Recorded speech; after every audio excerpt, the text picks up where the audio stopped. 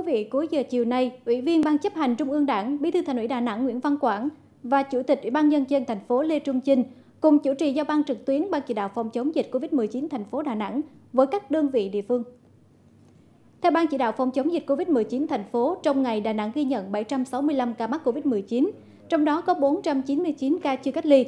Trong 499 ca chưa cách ly có 247 ca đến từ các bệnh viện, phòng khám, trung tâm, y tế khám bệnh xét nghiệm 115 ca tự test nhanh dương tính, được trạm y tế lấy mẫu. Có nhiều trường hợp được phát hiện tại các công ty xí nghiệp.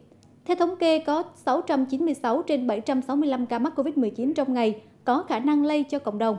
Tập trung ở một số địa phương như quận Sơn Trà có 131 ca, Liên Chiểu 127 ca, Thanh Khê 125 ca và Cẩm Lệ 118 ca. Hiện thành phố có 118 khu vực phong tỏa, gồm 242 hộ với 738 nhân khẩu. Thông tin chi tiết cuộc họp Ban chỉ đạo phòng chống dịch COVID-19 thành phố vào chiều tối nay, chúng tôi sẽ tiếp tục cập nhật trong chương trình thời sự tiếp theo.